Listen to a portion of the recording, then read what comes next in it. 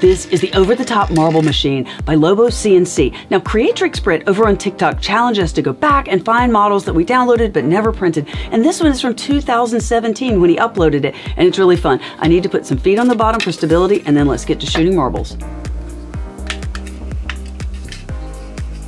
This gorgeous filament is TTY T3D's clear rainbow PLA, and it is definitely beautiful. Now that we've got it off the ground with the little feet, let's get to shooting marbles. You'll need 6 millimeter ball bearings. Be sure to get the right size. It looks like it takes something large, but anything larger and they get stuck.